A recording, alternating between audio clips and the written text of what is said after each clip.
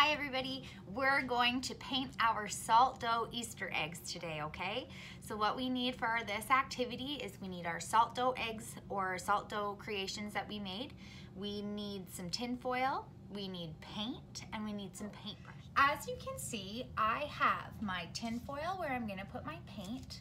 I have my salt dough creations. I have a cloth just in case, a cup of water, some paintbrushes, some Easter color paint, and I have a little bit of glitter too. If you have some glitter, you can take it out at home too, but make sure you ask for help so you don't get glitter everywhere. Not everybody likes glitter as much as Miss Morrow does, right? So what I'm gonna do now is I'm gonna decorate my Easter eggs. Now you can decorate them however you'd like. Maybe you wanna add some patterns, maybe you wanna paint them all one color, maybe we wanna have some polka dots. I'm gonna go ahead and start painting and I hope you guys have fun painting your eggs too. I can't wait to see how they turn out. So I've put some of the colors of paint that I know I want to use on this piece of tin foil here in front of me so I don't have to keep getting out more and more paint.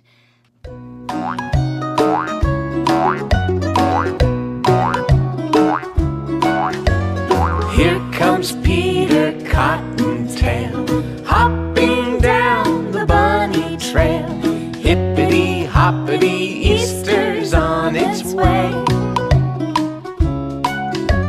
Bringing every girl and boy baskets full of Easter joy.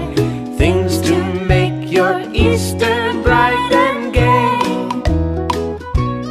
He's got jelly beans for Tommy, colored eggs for Sister Sue. There's an orchid for your mommy Here comes Peter Cottontail, hopping down the bunny trail. Hippity hoppity, happy Easter day.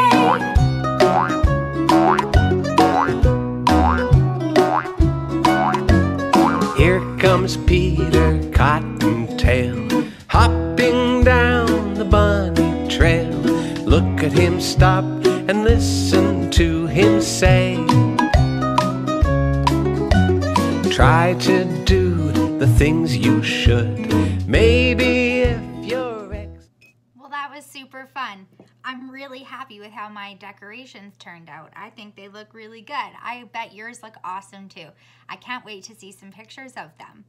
Where are you gonna put them? Do you think that we should leave them up as Easter decorations? Maybe we could find an Easter basket to put them in. See you later.